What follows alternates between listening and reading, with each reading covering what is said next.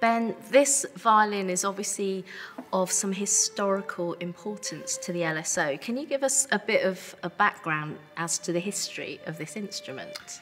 Well, so as far as I know, this um, violin belonged to William Reed, who was one of the leaders of the orchestra um, in its early days. Um, uh, and um, if you look at the back of it, um, it's had basically these are the names of all the, the founding members of the LSO. Wow. Um, been kind of scratched in. I mean, it's sort of when I heard about it, I thought that sort of seems like a rather barbaric thing to do an instrument, but actually Yes. they've they've done it quite. They've done of- it really well. It they've done it well. It doesn't it doesn't doesn't seem to go very deep in the in the violin. It's sort of yeah, exactly. It looks as if it was meant to be like that. Yeah. Um, I gather that there's a sort of they're not quite sure when this happened, but um, what they do know is that the sort of the idea to ha- sort of the idea of, of founding the LSO was hatched possibly on a train to Manchester, um, and um, it's also sort of possible that um, I remember reading a theory that they might have actually done it while on the train, although.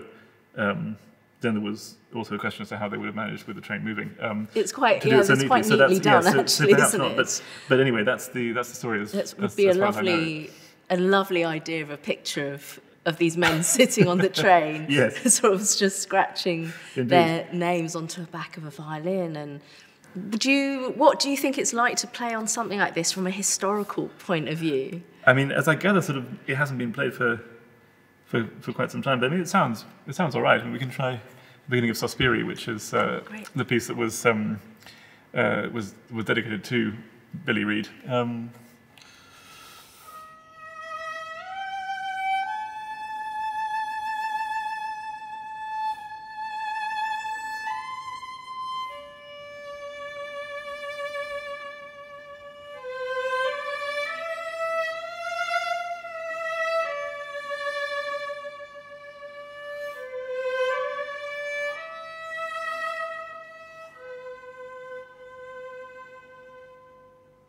I mean, so you know, with a bit of um, with Yeah, a bit of playing, I'm sure it could sound. sound. Yeah, so we have no lovely. idea where, what the provenance of the instrument is at all. I understand it's French, and I think beyond that, I don't think we do. No. Okay. Um, because it, it does have a, a lovely warm sound, although in a, in a way quite closed, but Yes, I guess that might have been with the sort of yes point I of view, if you haven't played an instrument for a long time. Exactly. Yes.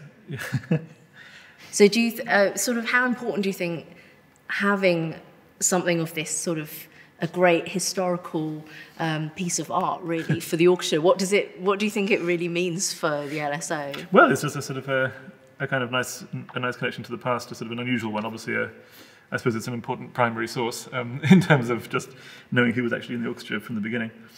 It is obviously sort of not, you know, some orchestras have very sort of illustrious instruments associated with them. Um, but this is sort of has a rather nice personal kind of touch about it, doesn't it? amazing piece of history for the orchestra to have, and I hope actually all the orchestra will get to have a have a look and actually have a play on it. Yeah, why not? It's, yeah, yeah, it's it's great to not even just have a piece of memorabilia from that time, but an actual working instrument Yes. makes it, I think, really really special. So it's uh, yeah, wonderful object to have. Thank you, Ben, for chatting to us and playing a few notes on it as well. My pleasure.